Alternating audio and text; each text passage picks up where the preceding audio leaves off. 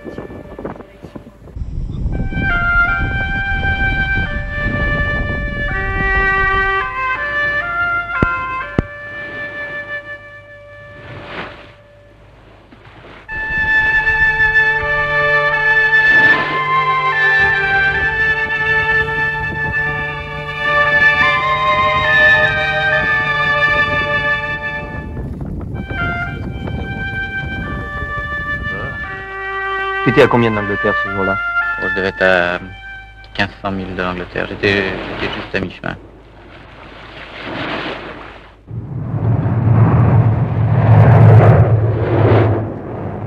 Un avion? Oui, c'est un avion de la RAF qui est chargé du repérage des concurrents.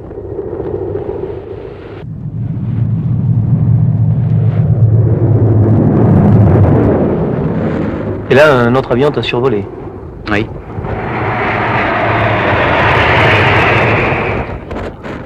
Donnait, euh, donnait ta situation. Oui, c'est le deuxième et dernier avion anglais que je verrai.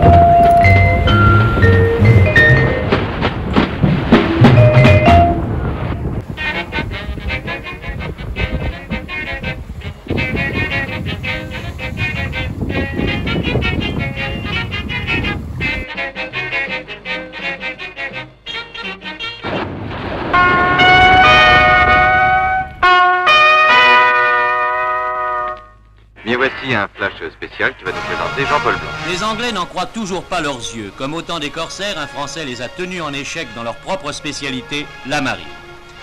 Ce corsaire du XXe siècle, c'est un pacifique marin breton, Éric Tabarly.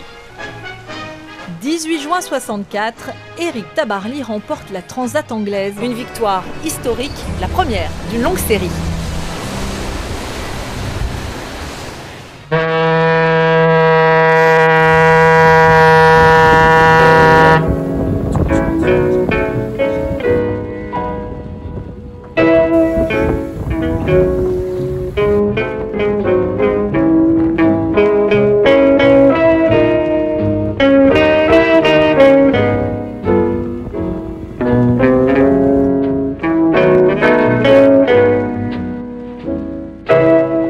Et qu'est-ce que ça t'a fait tout ce monde après le grand silence Oh, ben j'ai été surpris. Je m'attendais pas du tout à remettre en monde.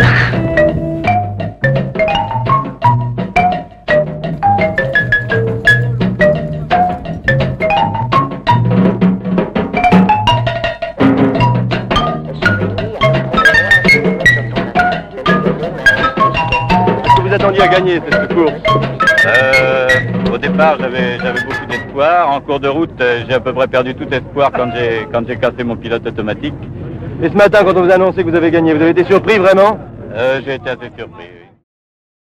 oui.